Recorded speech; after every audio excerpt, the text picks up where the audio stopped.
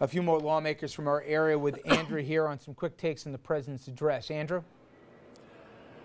And we're joined by Congressman Jim Himes of Connecticut. Congressman, your thoughts on the speech? A lot of proposals from the president tonight.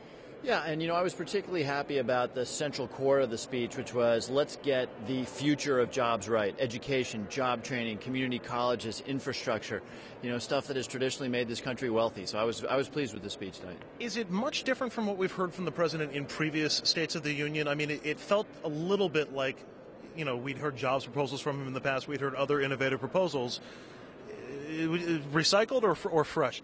You know, I, I, some of that stuff is enduring. I mean, you know, look, fixing our educational system that doesn't change day by day. I thought that his concentration on climate change tonight.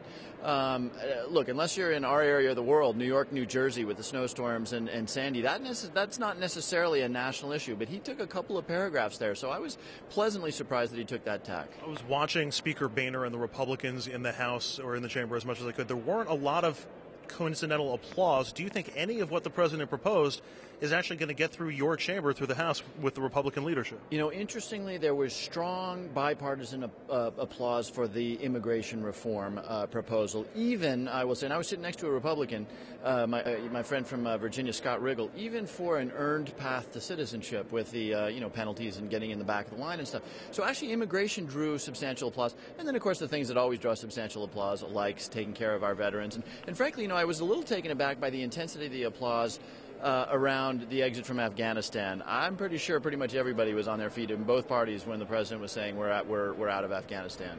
Interesting. Congressman Jim Himes, appreciate it. Good to be with you. Rich, we'll send it back to you in the studio. Thank you, Andrew. Thank you very much. Uh,